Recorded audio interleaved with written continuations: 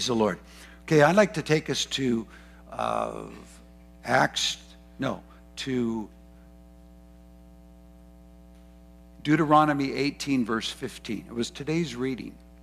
I'm going to share a little different, and I hope by, by what I share with you, I've been meditating on this for numbers of years now, and it continues to become so, so real to me that it gives, it, it carries faith, the truth, that allows me to receive what has been accomplished and see the, the, the, the, I don't think I see the totality, but I see so much more. And all this week I was meditating on that we have quoted in the New Testament in Acts chapter 3 and so forth, uh, that God would raise up a prophet like Moses, which we know is our Lord Jesus. And so today in our, in our daily reading, which is crazy how many ways the Lord, just without planning it, keeps bringing me every day into an encounter in the scripture just because we're reading on purpose together. And then it's something that's so important for a day like today. So Moses is speaking. The Lord has declared Moses to say these words The Lord your God will raise up for you a prophet like me from your midst, from your brethren him you shall hear. According to all you desired of the Lord your God in Horeb in the day of the assembly, which was when God came on the mountain and began to speak the Ten Commandments. He said, Let you saying, Let me not hear again the voice of the Lord my God, nor let me see this great fire anymore, lest I die. And the Lord said to me, What they have spoken is good. I will raise up for them a prophet like you from among their brethren, and will put my words in his mouth, and he shall speak to them all that I command him. And it shall be that whoever will not hear my words, which he speaks in my name, I will require it of him. So, besides today being Memorial Day, Dear Father, I pause to ask that you would, from your throne of Jesus, you would lead and send out Holy Spirit to declare all that the Father has, that He's given, that is yours, that you are now want us to hear and to recognize and to embrace. And would you illuminate our understanding, the eyes of our understanding be enlightened so we can step into truth that has tremendous, uh, uh, tremendous opportunity of, del- of freedom and fullness and your kingdom being felt and seen in the earth today. In Jesus' name, amen. Besides this being Memorial Day weekend, besides today being Pentecost, in, in the Jewish world, on Friday uh, was celebrated Pentecost, Feast of Weeks, or called Shavuot. And it was the day that's commemorated of the first covenant being enacted. Passover brought slaves out of Egypt. Pentecost, Feast of Weeks, brought the covenant, the Ten Commandments, and started the setting up of a nation. If not just the Ten Commandments, it set up a priesthood and a tabernacle, which were absolutely vital, and it took over about a year, less than, a little less than a year, to, to, to fashion it and put it in place. Uh, so there's a lot of correlation. And the reason is Moses went up onto a mountain and received from God the Ten Commandments. And if you'll take me to uh, Exodus chapter 20. Lord's ministered this to me a lot, and I know you know this to be true. The commandments have never changed. What's changed is, the delivery system, the means to which God brings us into his likeness, his holiness, his, his oneness. And I don't want to uh, labor on these commandments, but I do believe if we'll read them out loud, it will be. Uh, uh, is that what Exodus 20? Let me see. Maybe I won't read it out loud if I don't want to read the. Okay, I had it. I Yeah. Okay, yeah, you're right. Yeah, we're right. We're going to stand up. Let's put ourselves as Israelis that are just freshly out of Egypt, not but a month, maybe just two months, less than two months, seven weeks. And we're now seeing fire burning on a mountain and hearing a voice like thunder speaking the Ten Commandments, and therefore frightened after the encounter, thinking, I'm, I never, I'm going to die. Stop. Just go tell us what to do, which started a whole different del- delivery system. But let's just read this together and let these words still sink in and let them be true, and we are all judged by them. Adultery still adultery. Lying is still lying. Covetousness is still covetousness. Stealing is still stealing. Worshipping any other God is still the first commandment not to be. And it's just the whole improvement of the new covenant is vastly superior. And that's why it's, it's actually viable. The law would never work because the flesh and blood couldn't keep it. But let's just read it just again so the words fill the atmosphere. And God spoke all these words, saying, I am the Lord your God, who brought you out of the land of Egypt, out of the house of bondage. You shall have no other gods before me.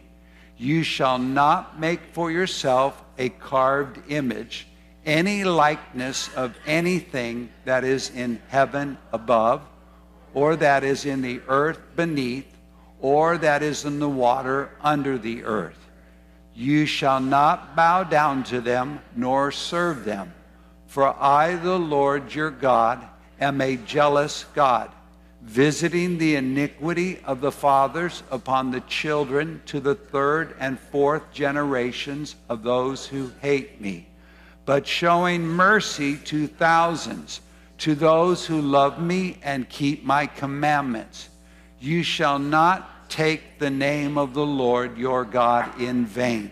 For the Lord will not hold him guiltless who takes his name in vain. Remember the Sabbath day to keep it holy.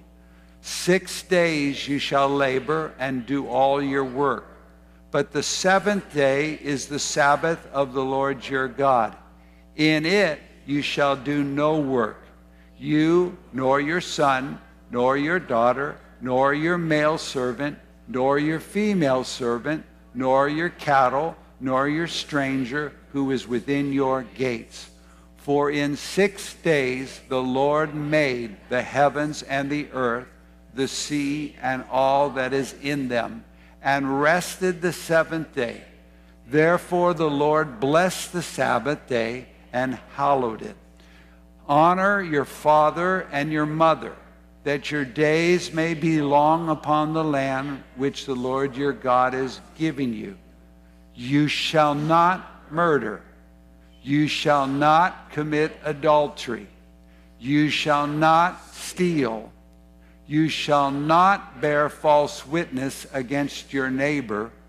You shall not covet your neighbor's house. You shall not covet your neighbor's wife, nor his male servant, nor his female servant, nor his ox, nor his donkey, nor anything that is your neighbor's. Amen. You may be seated. Throughout the Jewish world, this is what they were doing on Friday. It's what to be re- reiterated. Now, I said that nothing's changed, and it absolutely hasn't. Uh, Jesus' first words in regard to mankind on the Sermon on the Mount. He said, you, You've heard that it was written ago, long ago that you shall not murder. But I say to you that if any man hates his brother in his heart, he is guilty of murder. Then he goes to the second commandment. First four deal with our relationship to God. Six, the next six deal with our relationship to one another. And he says, You've heard it was said, You shall not commit adultery. But I say to you, see, he was, he was changing it from something you could only measure on the outside to something that was obvious on the outside, but it always began from the heart and could be judged from the heart. He said, I say, if a man is to look at a woman with lust, he has already committed adultery with her. So, and this was the sermon, and it continues all. The, so all the all the the standards not changed. The kingdom, the essence of who God is. This is who He is to partake of His nature. But it was impossible through this delivery system of the law to ever be a partaker of the divine nature because with the law comes wrath. With the law comes the knowledge of sin. With the law, it strengthens the sin and creates this whole chaos. So you, by the time Jesus is walking on the earth, you have the most dedicated group of Pharisees that are endeavoring to keep all the law. There are 10 commandments and 613 statutes that, that enlarge what the Ten Commandments, in essence, were about.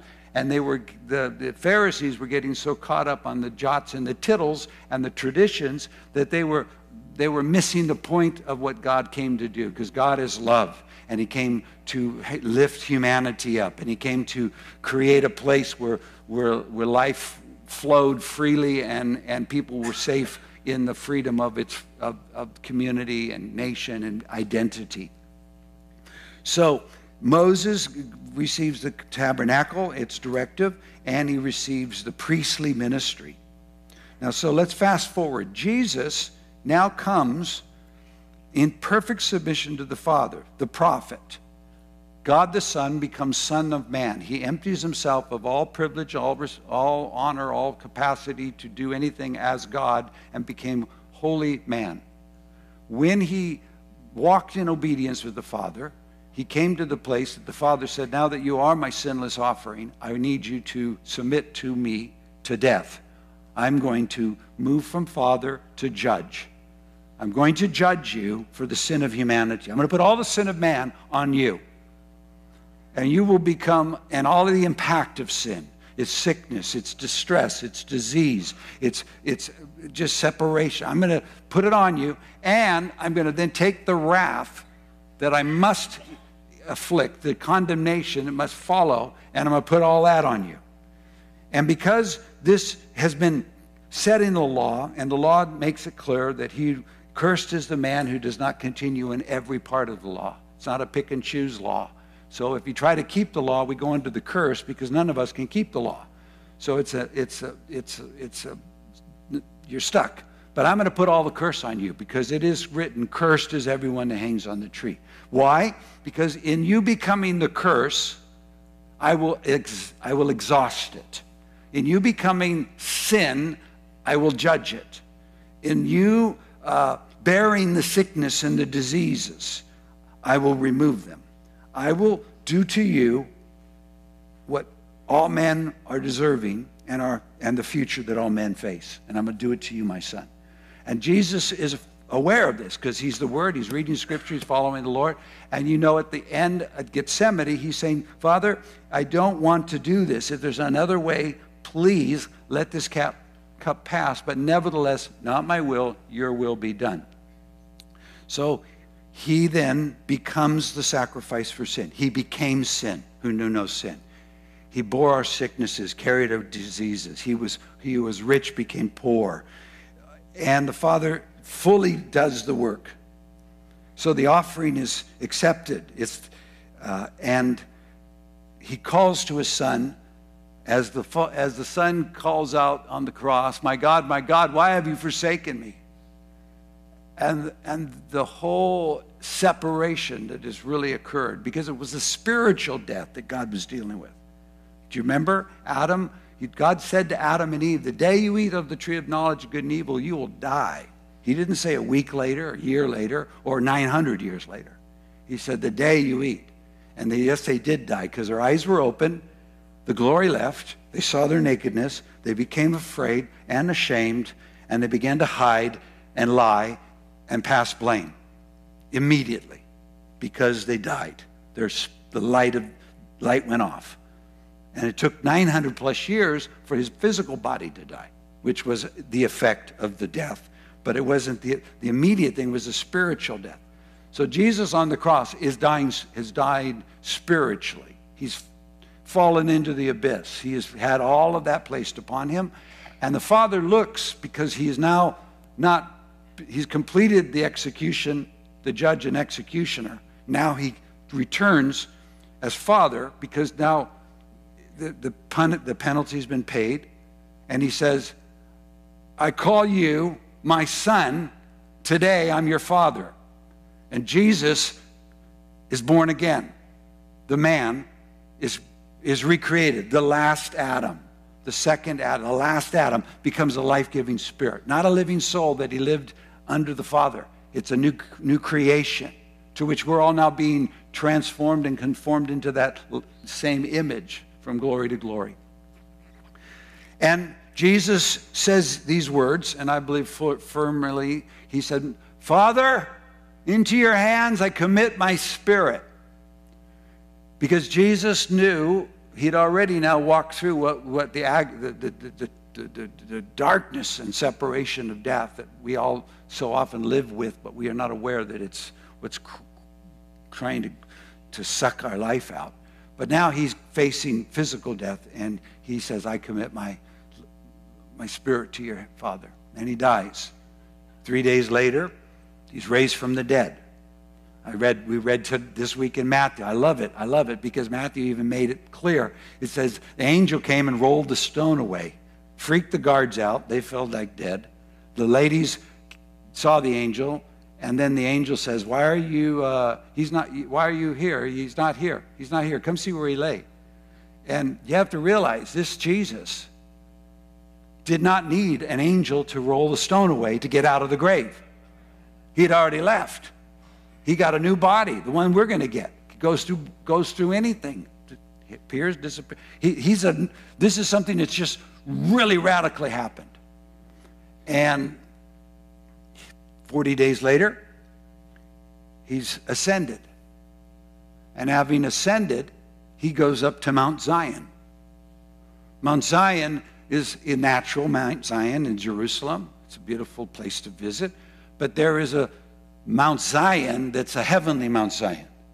Hebrews 12 makes that very clear that we did not come to the mountain that was burning with fire, where Moses was so overwhelmed with and afraid and, and frightened by the terror of it, but we've come to Mount Zion, to the heavenly Jerusalem, to the new company.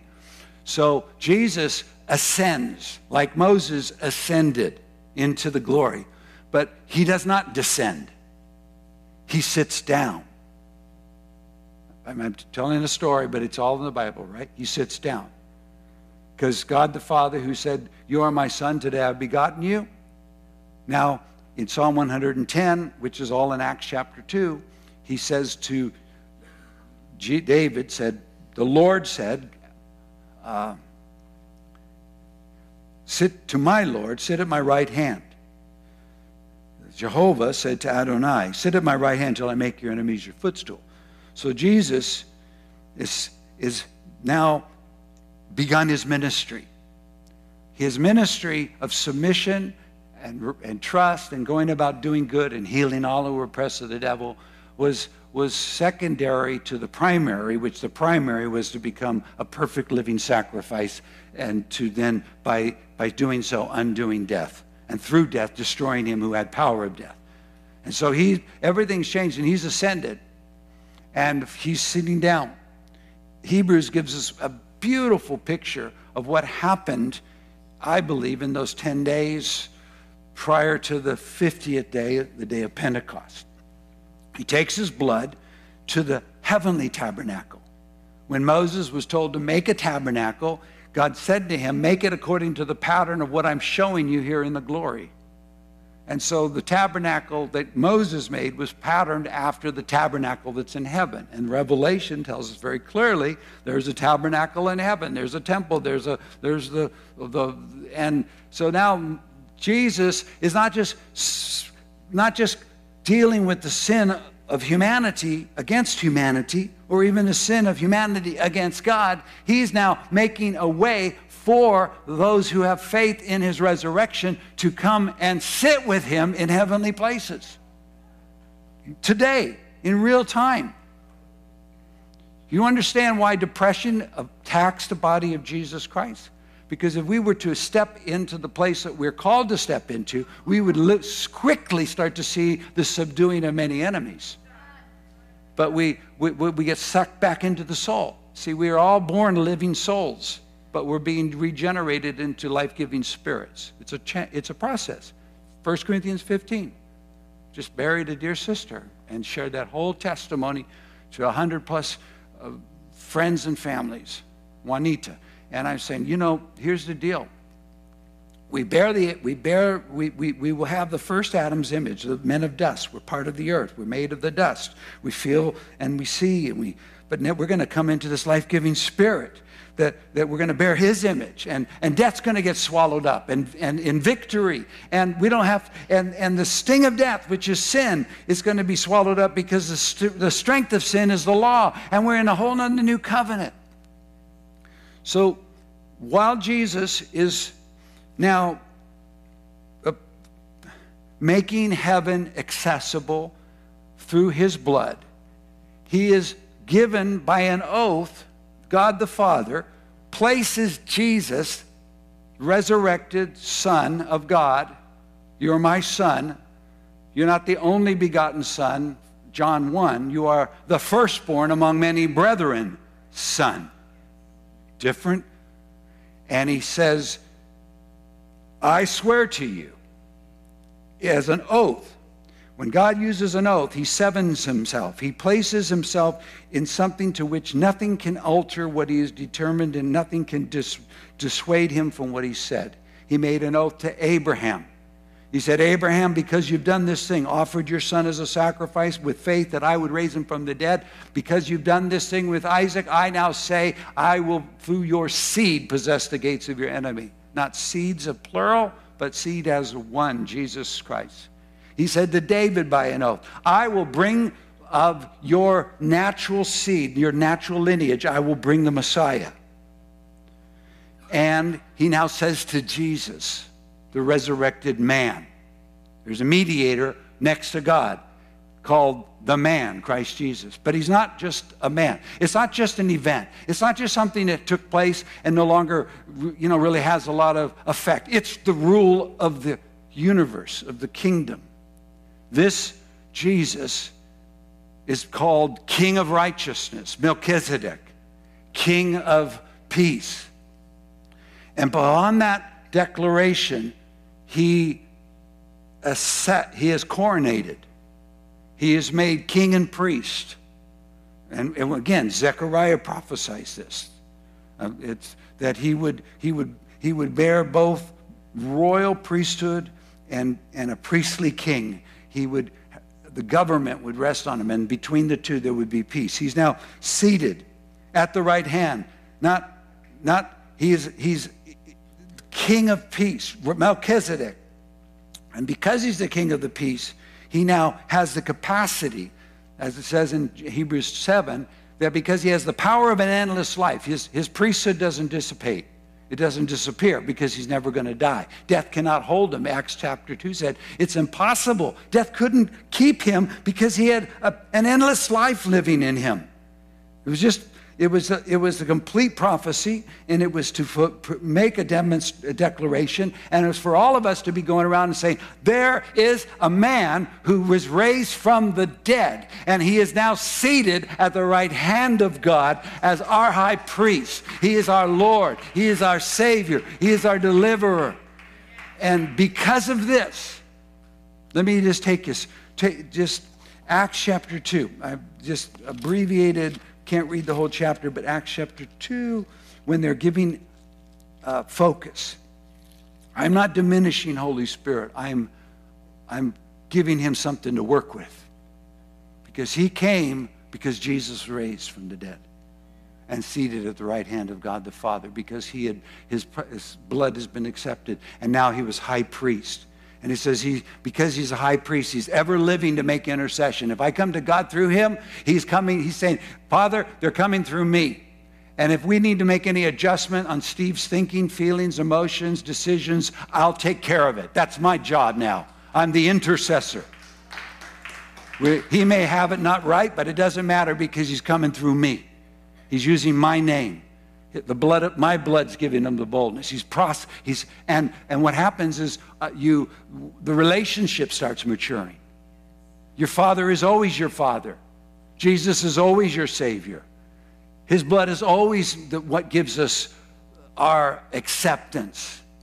Yes, we can walk away, we can wander away, we can say, I don't really care. I don't think God's done anything that wonderful for me. I'm not even sure if I still believe. We can do all of that, and the effects will follow.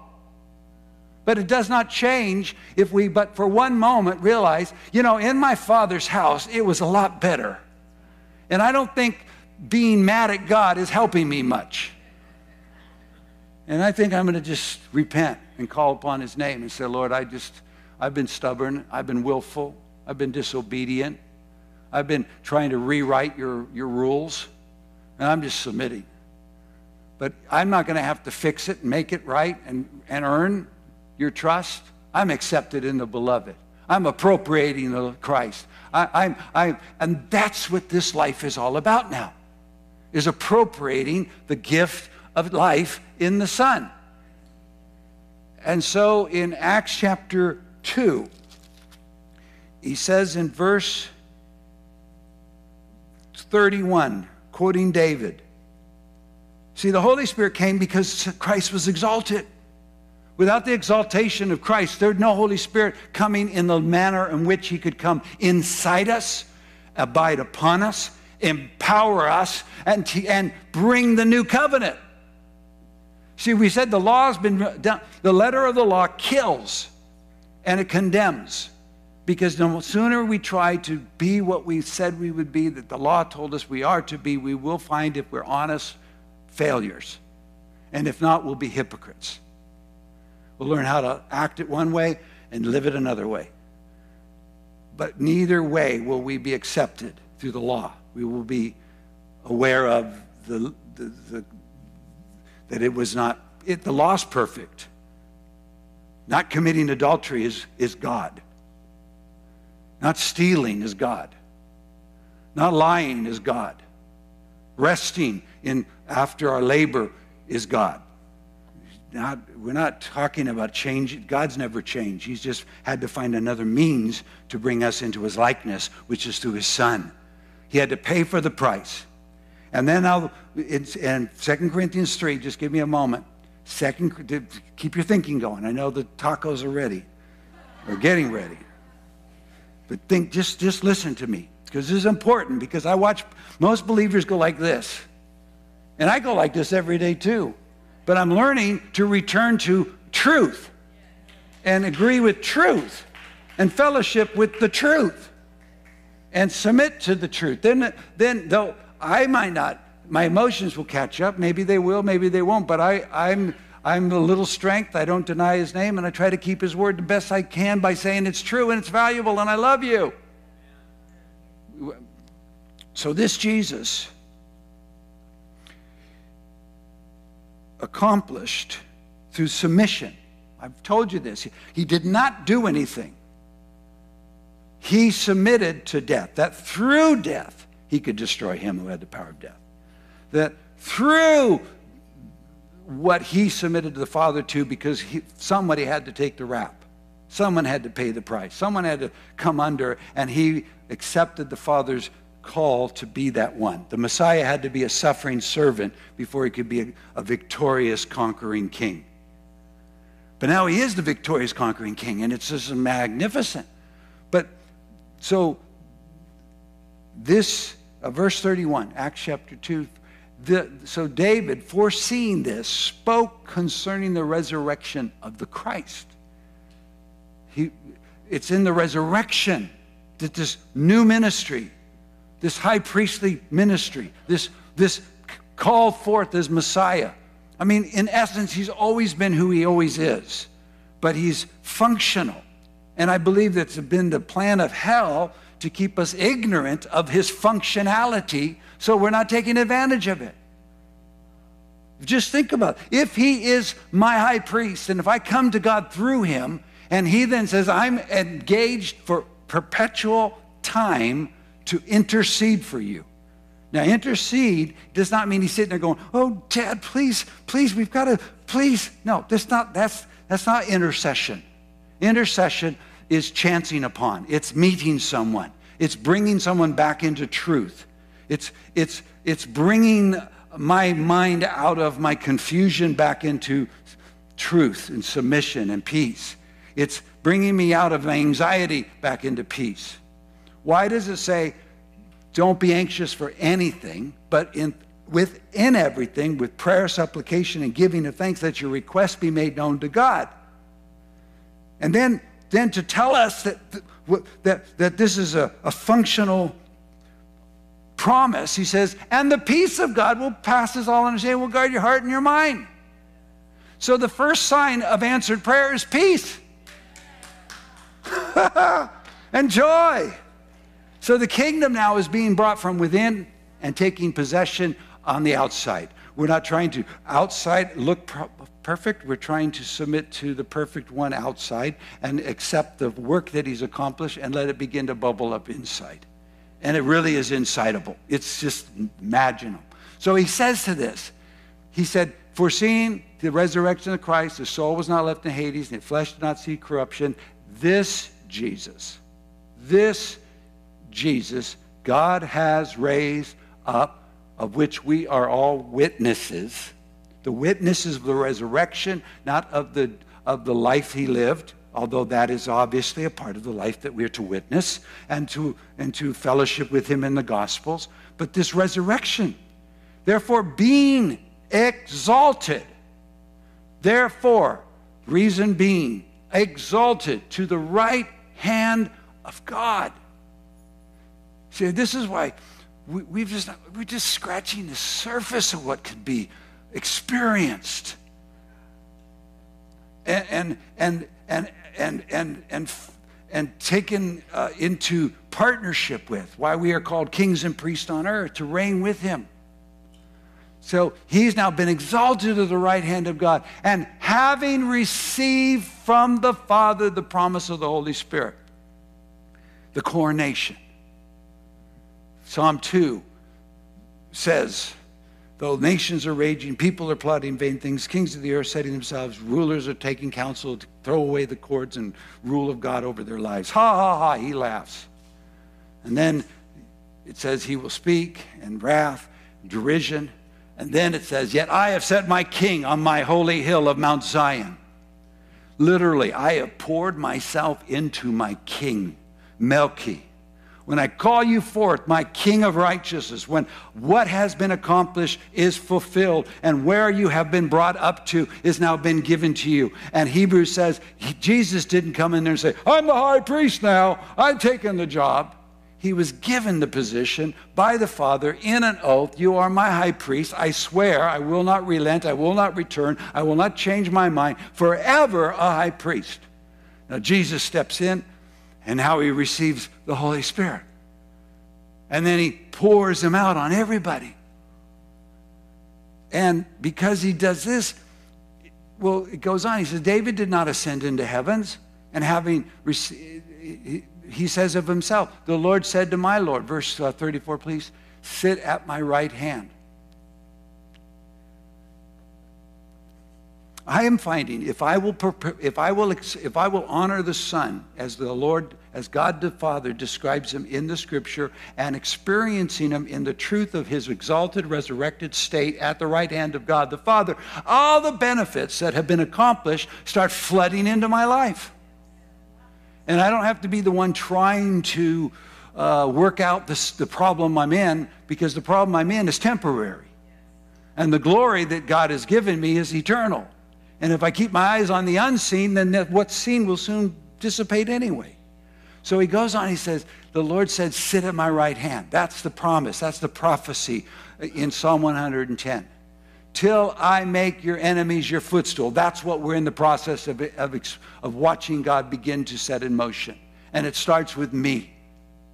It starts with my life, my little kingdom, my emotions, my soul, my way in which I resolve conflicts. What do I do? How do I? It's submission. I have to be the first one submitted. Otherwise, I have no authority to bring submission and life to anyone else. And I, I can't operate in the wrath because wrath is not the work the righteousness. So I, I'm the one coming in. Yes, I receive everything. Therefore, let all the house of Israel know assuredly that God has made this Jesus, the resurrected, glorified, exalted Son, whom you crucified, both Lord and Christ. both Lord and Messiah. And so all of all that was understood Messiah would do for Israel is now effectively available to all of Israel. And fortunately, 10 chapters to 8 chapters later, we get included, the Gentiles, to come into this, to the believing Israel. And he's Lord in Christ. And so these devout, these are devout Jews. They are there for the feast. They came prescribed to appear at the place where the temple was, and they've heard a sound that came from heaven. It's now being noised abroad. It's occurring, it's affecting, and now it's a, instead of, oh, the Holy Spirit, they go, yes, whoa, the Holy Spirit. But he's here because of the exalted Christ. Behold the exalted Christ. Exalt, see the exalted Christ. And so now they're getting it. So he said, What do we do? They were cut to the heart. They said, What do we do? I'm sorry, I'm paraphrasing, so it's hard to keep up with me. Uh, verse 37. So now when they heard this, they were cut to the heart. And said, Peter and the rest of the apostles, Man, brethren, what shall we do? And Peter says, the simplest truth that never is left, it's never changed. It's the way in, it's the way we stay in. Repent, which means accept these new thoughts and let every one of you be baptized in the name of Jesus, which is the fact of conversion. Turn to these thoughts and accept them to be true for the remission of your sin, because you're not to live in a guilt, guilt fueled life. You're not to live with remorse, regret. Everything you went through is so you could find Jesus. Everything you go through is for finding Jesus. Everything that happened to you is to find Jesus. The only thing that is important in life is that I find Jesus and I find him in the situation. And if I do, then whatever I went through is perfect. And then my enemies become my friends because you, you tried to destroy my life, but God, in the, your destruction, I found Jesus. Do you, do you understand? It makes it just dismantles victimization. It has to because you you you you never never can look at life as oh, if only this wouldn't have happened, I would be in a better place. And if this wouldn't have happened, I could have been.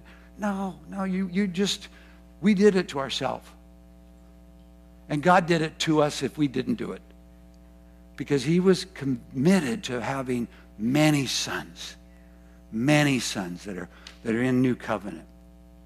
So you'll receive the gift of the Holy Spirit that promises to us, to children, and everyone else one last thought, and then we got to, I just, I, I promise I will pray. But you're doing good. I can feel you're listening.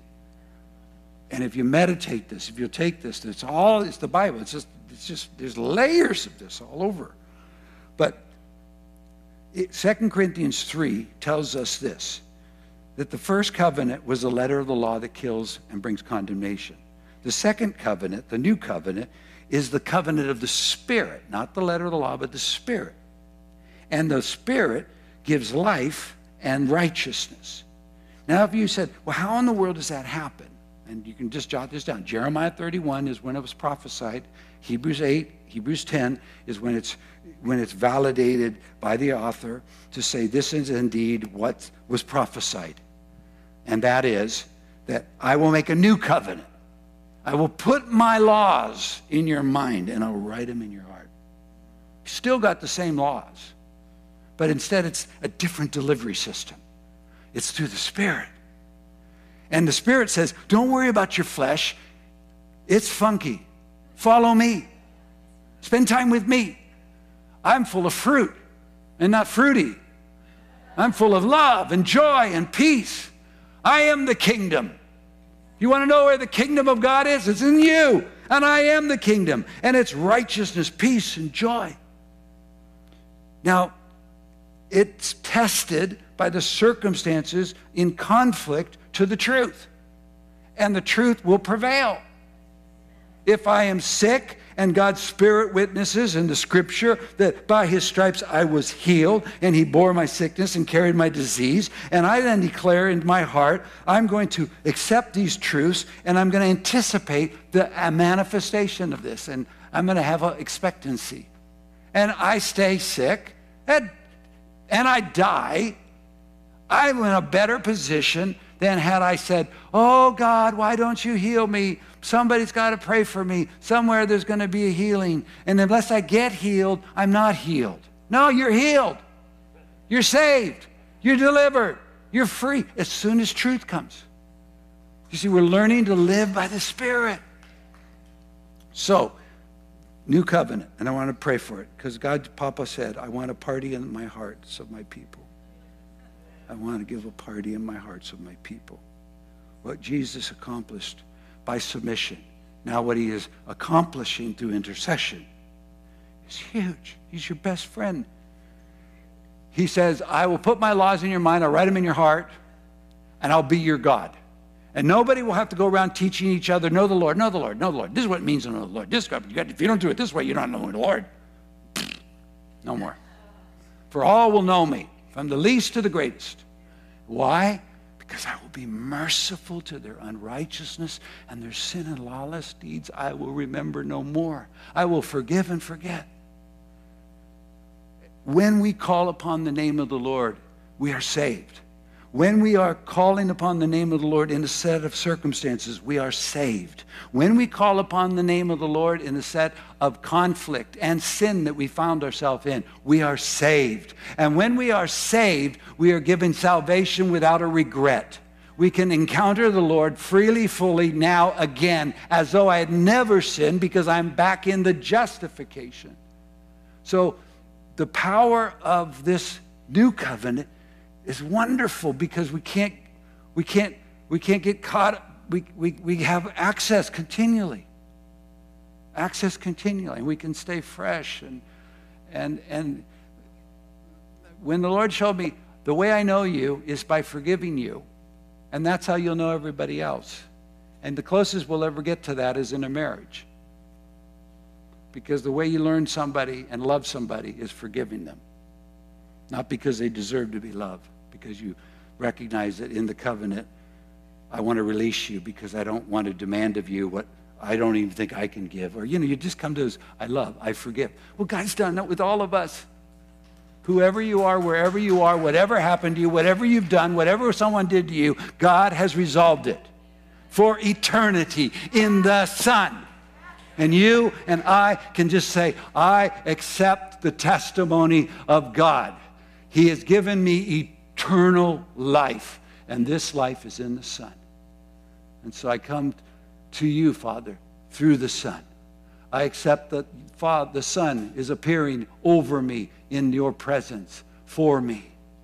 I receive life. I receive healing. I receive deliverance.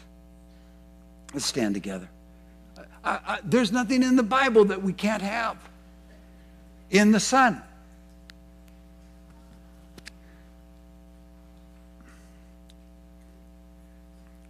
Beloved, I praise you. Lord, help me. Holy Spirit, you're the one that comes to help us bear these thoughts and truths and to begin to engage in them or get just a little piece of something that we can follow you further into the scripture. Holy Spirit, we are welcoming. It was because you came, because Jesus was exalted, because death had been destroyed, because a new covenant had been cut and enacted, that it could be now given in such a powerful way.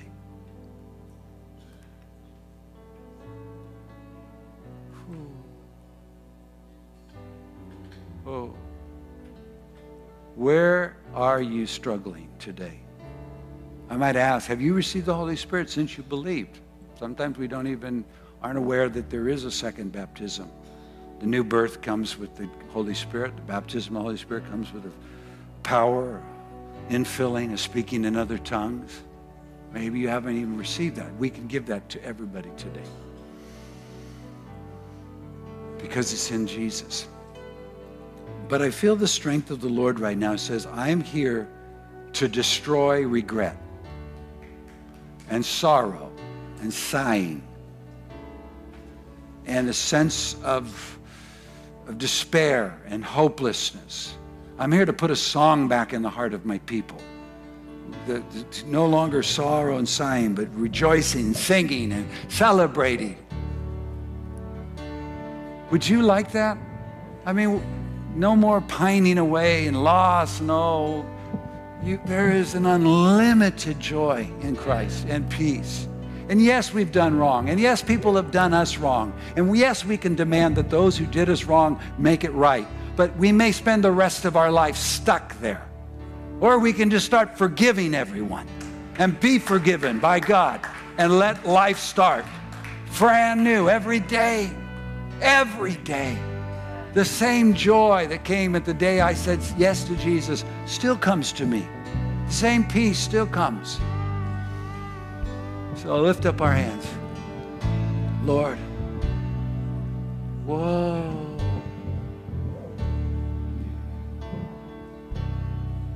Tell him what you would love for him to lift out for your life or obliterate in your psyche, your soul, your emotions, your circumstance, situation. Tell him where captivity has held you, where you'd like to get out of. You don't know how to get out of it, but you want it out. Tell him where you'd love to live in the fullness of forgiveness instead of thinking it's always still there. And enter into God's forgetfulness of forgiveness. The more you can say, I want to be healed, I want to be helped. I don't want to live just in the level I'm on. I want to come into what you called me to be. Whatever you can say, it's just, it's articulation. Okay, together now. Let's make a confession. Heavenly Father, thank you for Jesus Christ, for exalting him to your right hand, that he became my sin and was judged for my sin and condemned for my sin and was cursed for my sin and was raised for my justification and exalted to be my high priest at your right hand. I receive this resurrection. I believe. I confess you, Jesus my Lord. Fill me now, Jesus, with the Holy Spirit and speak with other tongues. Fill me with joy, Holy Spirit. Fill me with peace, Holy Spirit. Fill me with love.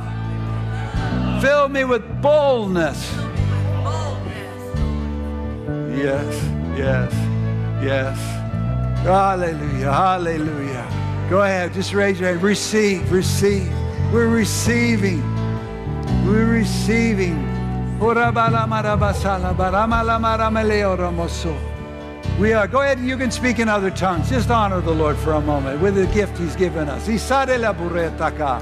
All of you at home, receive, receive, receive, receive the Holy Spirit.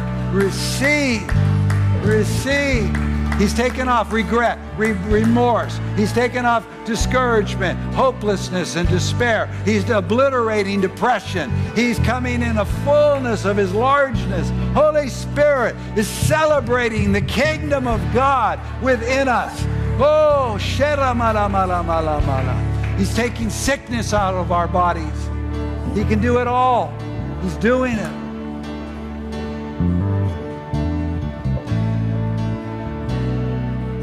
Now there's there's much more, but we've got lunch ahead. We've got a big day. And I want to release a blessing for the food and for us to go out and begin to enjoy and celebrate and give you a permission to wait for a few minutes. There's not take the line to tacos and just stay in the presence. Because there's more. There's more. Lord God, I thank you. What an honor it is be able to every day seek to encounter you in your exalted state. And what a gift it is to have the Holy Spirit ready to empower, to lead, to delight and rejoice. Lord, I ask you that as we go out in the parking lot and we have a party, we do thank you that we're a body. And what's coming is going to be an activated living body, every member doing its part, coming into the fullness of the edification of love. It's going to be glorious. And we look to the Wednesdays coming and the Sundays coming and the activation. And every member, there's one head, and the rest of us are the members of the body. And we bless you. And we say, uh, make we, we just we place ourselves right before you. And you can do anything and everything you said you wanted to do that you gave us in Christ before time began. We say, why not? Let it happen now. We're never too old, we're never too young. So, right now, just if you'll lift up your hands, I believe if you could just imagine God, it's not an intelligent thing, it's, a, it's, a, it's an image. He puts a scroll in your hand. He says, This is your inheritance, son, daughter. It's in Christ. Don't worry about reading it, it's in Christ.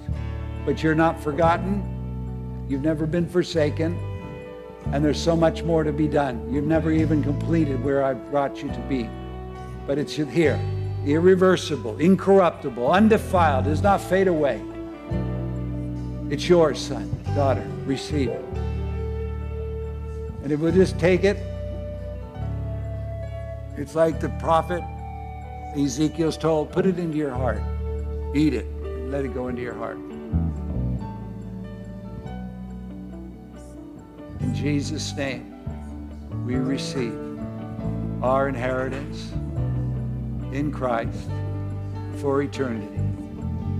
Now, kept by the power of Holy Spirit.